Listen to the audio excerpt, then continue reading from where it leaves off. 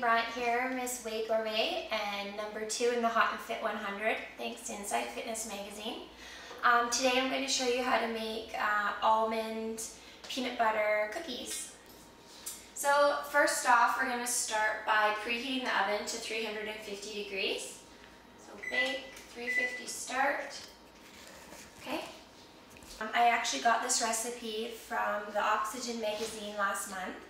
Um, and I just kind of altered it a bit to make it my own and add in some whey protein. So we're going to first start with uh, some almond butter. It's one cup of almond butter. I like to use the crunchy or you can use smooth. Um, make sure, check the ingredients on and make sure it's only almonds and that there's no added um, oils or anything like that. Dump that in there and scrape it out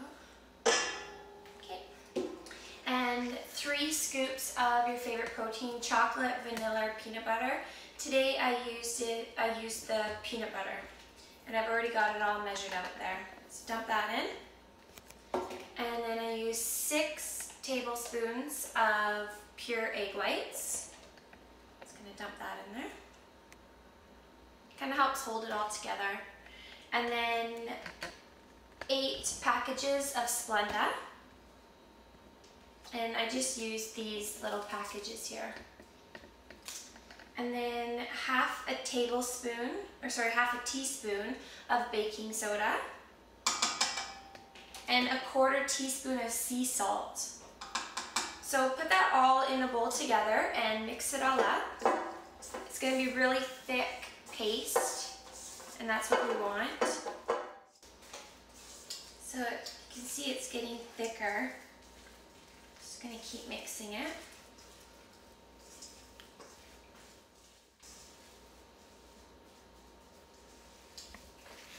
Okay, so you can see it's really thick. Okay, so scrape it off from around the edges. Form it into like a big ball inside of there, just like that. Okay, so next we're going to take our baking sheet, which you can tell mine's very well used. Um, we're just going to take some cooking spray, some Pam, spray your whole cooking sheet. While your oven's preheating, uh, you're going to take a large spoon and just start taking spoonfuls of your batter. About that big, and then scrape it onto your cooking sheet.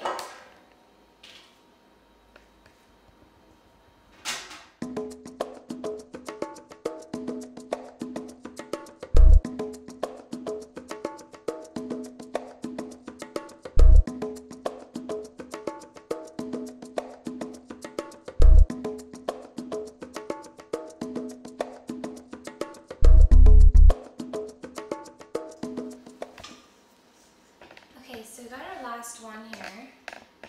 And you want to make sure that you've left a little bit of room between each one because they are going to puff up a little bit. So I put them out and then I flatten them out a little bit. And next I've taken some 90% um, cocoa and I broke it up into little tiny squares or little tiny chunks. And I'm just going to put one little chunk on the top of every cookie.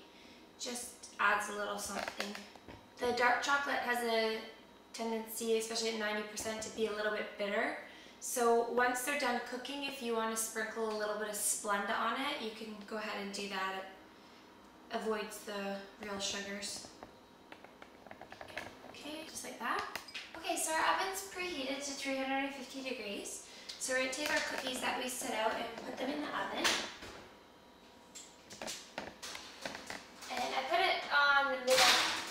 tray for about 10 to 15 minutes. You just want to um, make sure that you turn your light on and watch them because they don't take very long and you don't want to overcook them or else they'll dry out. So we'll be back in a few minutes to see what they look like. Okay, so the cookies have been in for about 10 minutes. Um, I'm just going to open them up and check on them. Um, I just press on them and yeah, they're definitely done. So if you touch them and they're a little bit hard on top, you know that they're done. Um, you also know that they're done because if you look at closely, um, they're starting to turn brown on the edges and you can tell my chocolate's melted. So they're all finished. I'm just gonna let them cool down and then I'm gonna dive into them. So I hope you guys enjoy the recipe and make sure you um, leave me some comments and let me know how you liked it. Talk to you guys later. Bye.